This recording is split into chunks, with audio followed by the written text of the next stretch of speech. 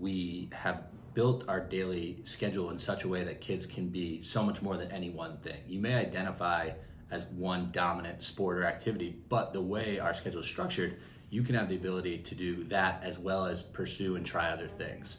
You could be on the ice later that day, you could be on the stage.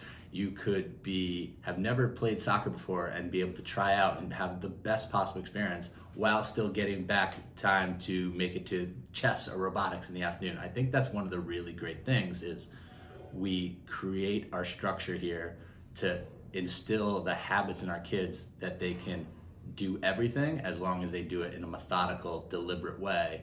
And then they can be as holistic of a person, try as many things to, to better understand who they want to be in the future.